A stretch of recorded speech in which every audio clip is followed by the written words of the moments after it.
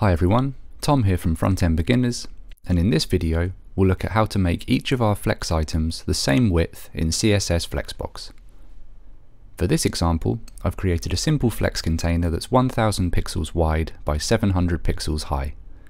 Inside it, I've created three child flex items, each with a different starting width. When working in the default row flex direction, the width of our flex items is initially based upon the content they contain. In this example, my flex items match the width of the text inside them, with item 1 the narrowest and item 3 the widest. If we wanted these three items to be equal widths, but without filling the total width of the parent flex container, we could simply give each a specified width in the CSS. In my example here, each of my flex items has a class of flex item. So over in my CSS, if we target that class of flex item and give each a width of 200 pixels. Now, regardless of their starting width, each item is 200 pixels wide and will still be able to shrink down in size if the width of the parent flex container becomes narrower. Instead, if we wanted our items to be equal widths and to fill the parent container, there are several methods we could use to achieve this. First, we could use percentage values. Percentages are always in relation to another element, which in this case is the parent flex container. We could use a formula where we give each flex item a width, so instead of 200 pixels, we give it a width of calc, which is a formula and we can use 100% divided by 3. This sets the width of each item to one third of the parent container. 100% refers to the full width of the container, and each item is given a width equal to the sum of 100% divided by 3, or one third. The main drawback with this method is that if we added in additional flex items, we'd need to update the formula each time.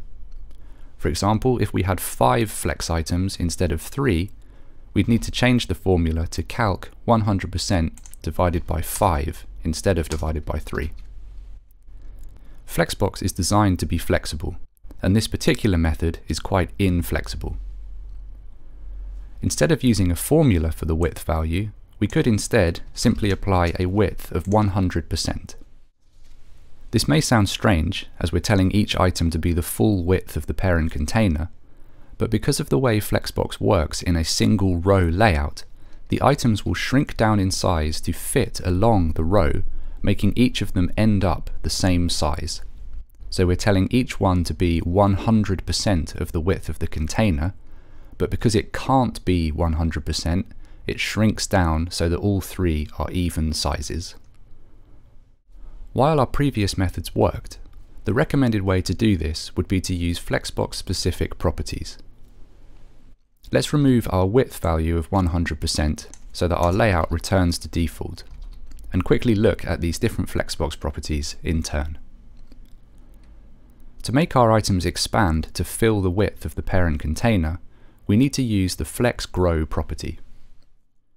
FlexGrow takes all of the available free space inside the container, so this grey area here, and shares it out among the flex items to increase their width. By default, FlexGrow has a value of 0, which means items are not allowed to grow. If we give each item a FlexGrow value of 1, the free space will be distributed evenly to each of them so that they all grow by the same amount. As we can see, there's no free space remaining inside our parent container, and our items have all increased in width. The problem with this is that because our flex items started out at different widths, they will also end up at different widths. Item 1 started as the narrowest and ends as the narrowest, with item 3 remaining as the widest. So in other words, our three items are not equal widths. To fix this and make our flex items equal widths, we need to use the flex basis property. Flex basis sets the initial starting width of our flex items before flex grow is applied. By default, flex basis is set to auto, which means that our items are as wide as the content they contain. If we change the flex basis value here in our CSS to zero, the width of the content is ignored and all items start at the same width of zero.